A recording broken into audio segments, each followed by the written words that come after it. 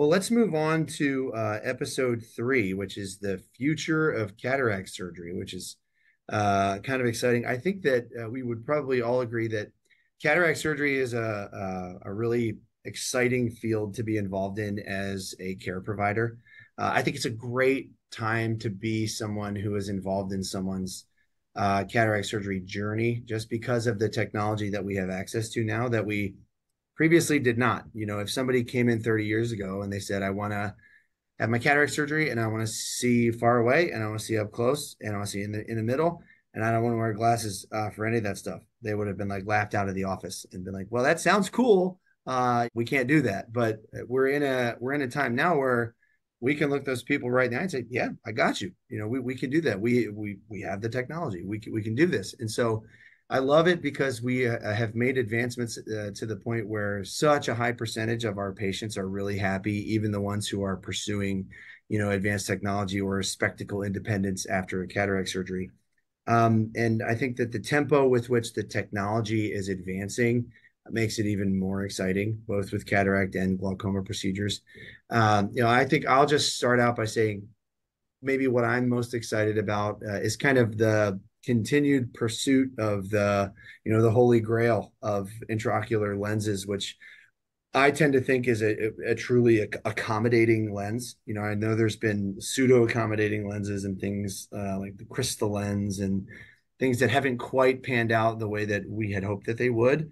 But there's a lot of really exciting uh, research that's been going on recently about you know accommodating lenses and some of those are you know multi-lens systems with uh, there are fluid-filled reservoirs that are uh, using ciliary body to change lens positions within the eye and um, even some lenses that are being studied that have a PCO rate of zero, uh, which is pretty cool. And so I think that uh, the the thing that excites me the most is the uh, the pursuit of the holy grail with a with accommodating IOLs, and then just improvements in both diagnostic and surgical equipment. I think that as time continues to march on, we will have access to better phaco machines that are more efficient, that deliver less ultrasonic energy, have less corneal edema, have more efficient surgery, and uh, create more capable surgeons and happier patients afterwards. So I guess this will be maybe less directed to one or or or the other of you, but just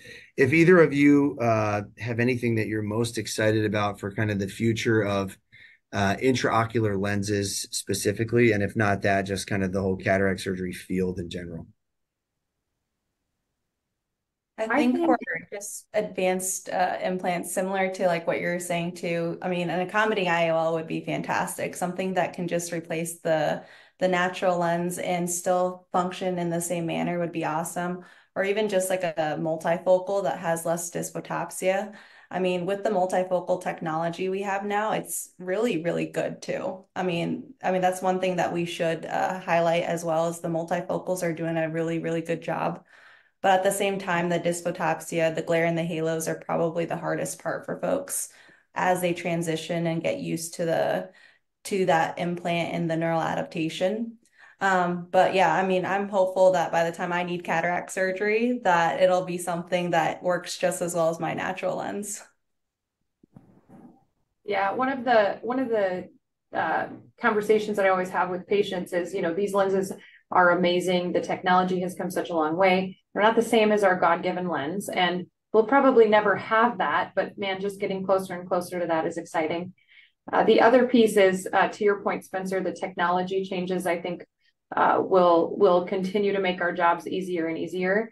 And uh, as I'm as I'm talking with patients about lens implant options, they kind of sit there and often go, "Man, I just wish I could try try them out. You know, I just wish I could test drive this one compared to this one." And so, you know, there's there's some emerging technologies. Um, this is maybe a shout out to Greenman but uh, that that will get us to a point where you know the patient can actually put a headset on and Walker, you know, experience what it would be like to live with one lens versus the other. And I think that's that's really valuable for the patient to get to try ahead of time.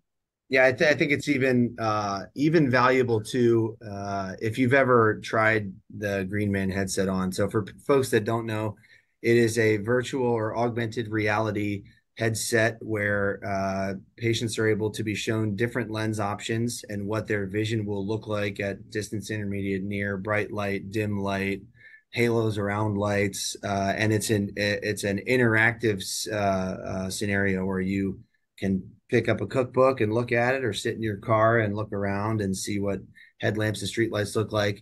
That's amazing technology, and but I think that part of the value of that will not only be showing them, wow, here's what a multifocal looks like, but also, again, kind of pertinent negatives. So you take the, uh, you know, the person who's trying to decide between a multifocal or a standard lens, uh, and you just show them absolute presbyopia.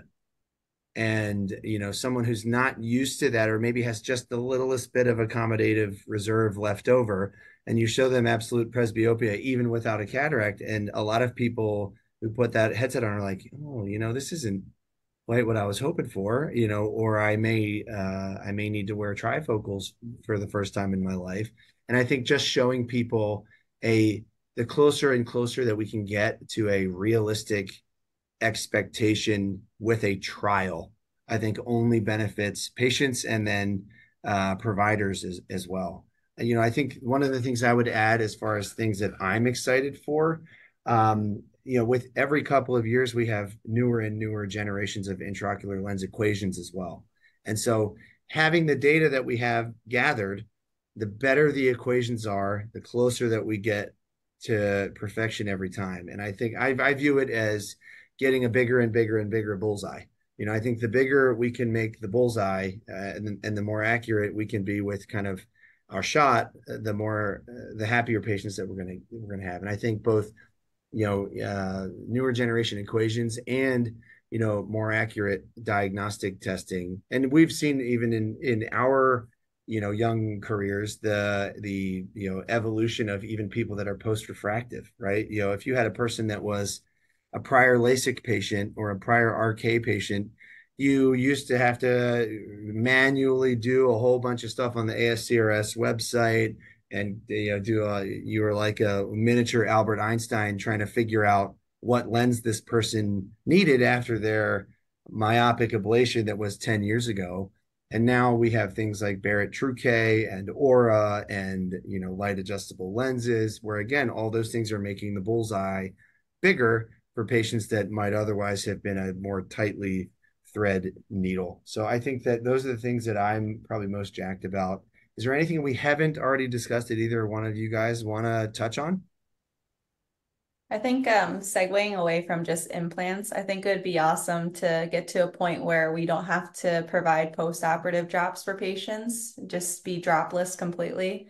Uh, the one thing I always hear after their surgery is, man, those drops sting, especially the ones that we get through ImprimisRx, the combo drops. I mean, we've gotten to the point now where we can do one drop a day for 30 days, but man, it would be awesome to get to a point too where all patients are a good candidate to not need that and do something during surgery. Yeah, I think you just reminded me of something else too. Uh, I think another thing I'm excited for, which I, I believe will be a reality in the next 10 years, is uh, immediately sequential bilateral surgery as well.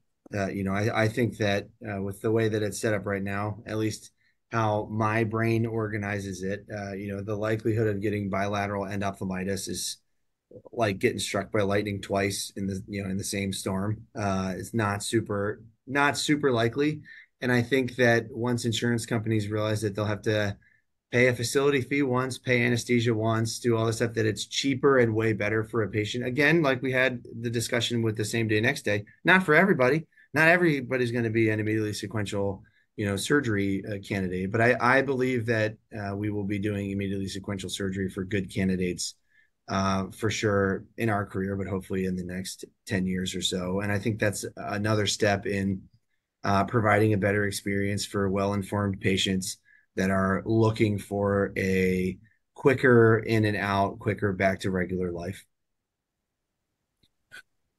so I think that uh, that's uh, that's probably going to be a wrap on episode three. And uh, just want to uh, thank you guys for all joining us for our uh, Cataract uh, Awareness Month chat. if you want more, you can schedule your personalized mini fellowship at Vance Thompson Vision today immerse yourself in hands-on learning, gain insights from our experts, and take the next step towards excellence in eye care. Uh, remember, the world of eye care is ever evolving, and so are we. And until next time, this is Spencer Morton signing off. And uh, don't forget to visit our website or follow us on social media for additional resources and updates. Thank you guys so much, and I hope this was helpful. And uh, Dr. Nguyen and Dr. Steiner, thank you both for your uh, amazing insights. And uh, I look up to you guys, and I thank you for uh, for joining us. And have a good one. Seeing you guys. Thank you.